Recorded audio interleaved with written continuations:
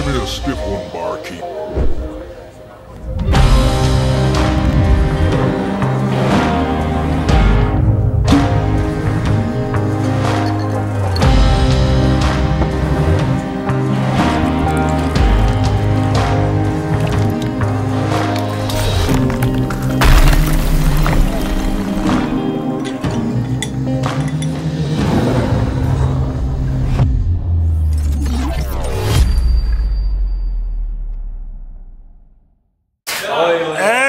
Hej!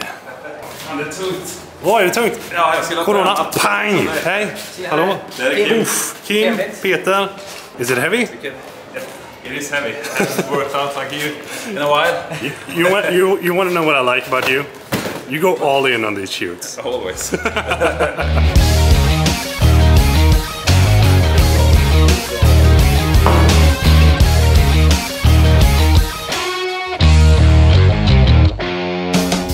We're gonna shoot um, together with a good old friend that has been in one of the bi- first B-rolls actually that we shot uh, with A7S3. Mr. David. hello, hello.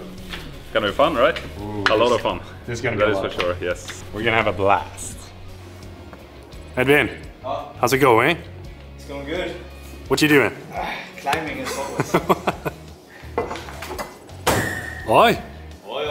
Making sure that we don't have any daylight coming in from here. You know what they say, the devil is in the details. So it's very important that whenever you're shooting anything like this, you want to be in control of the light as good as you can because then you can make it look the way you want it to.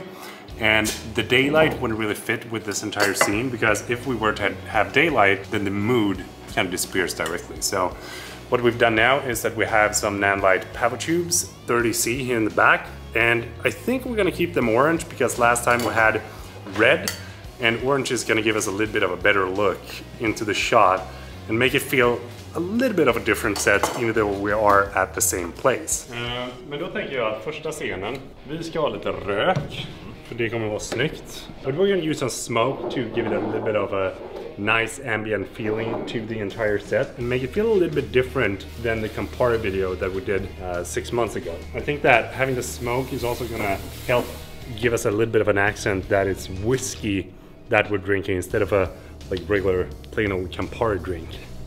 The first shot is gonna be like me pushing in like this and then David is gonna reach for a whiskey bottle in the back and it's gonna be kind of a natural like movement so we're gonna cut in the movement so that it feels seamless. Nu. Let's go.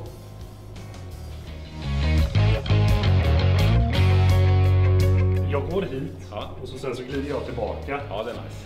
För då blir det att när, när du kommer hit så saktar du ner rörelsen lite. Och så glider jag in hit. Ja. Och så sen så in till dig. Poff. Ja, du vrider dig lite så. Pop. Jag, jag, i, jag, Där. Den liksom. Då är det... Exakt. Det, det blir gött. Det blir gött. Go. Satt Hoppas! den alltså. Hoppas! Och där nu. Ja! Vi har den. Där Yes!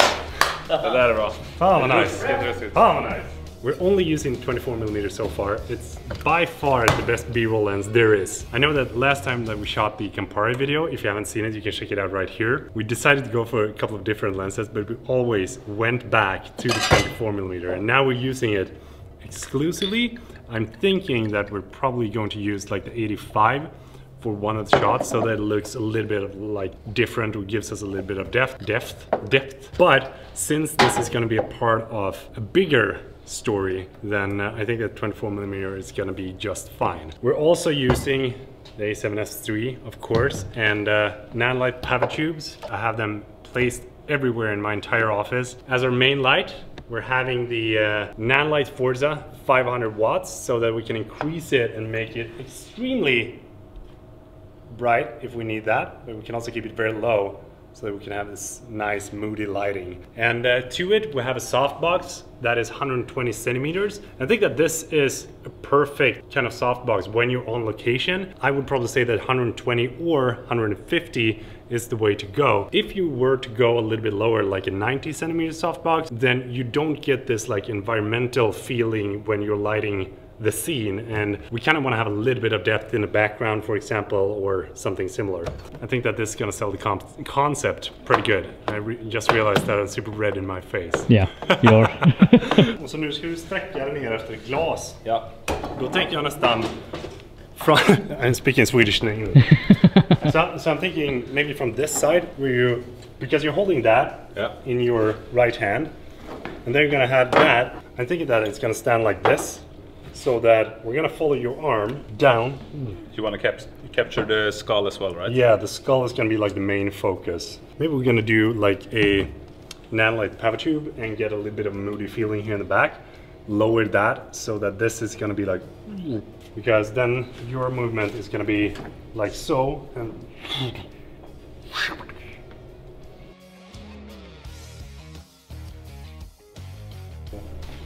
Tre, två, go. Go. Kan gå, kan gå. Känns bra, det känns bra.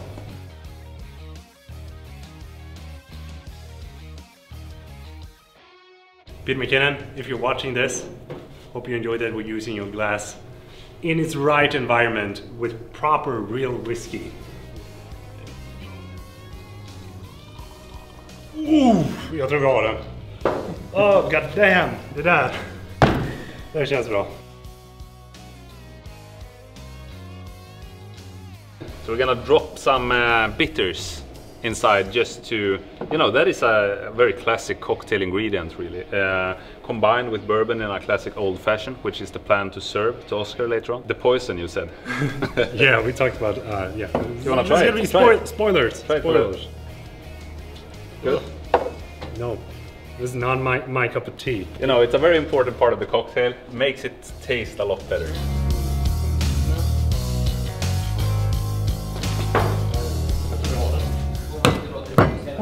Crystal clear.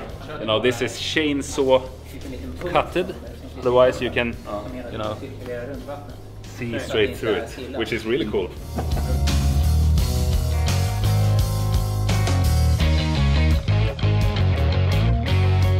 Instagram friendliness at its best.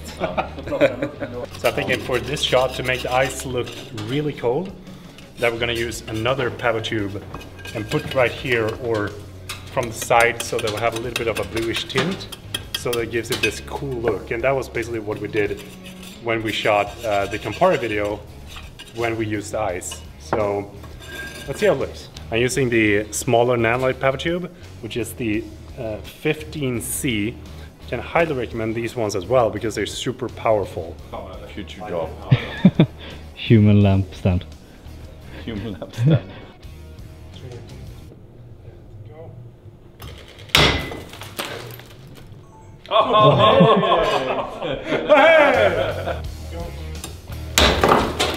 Det här! Nu! Den! Det gillar Den du. känns Sån jävla feeling.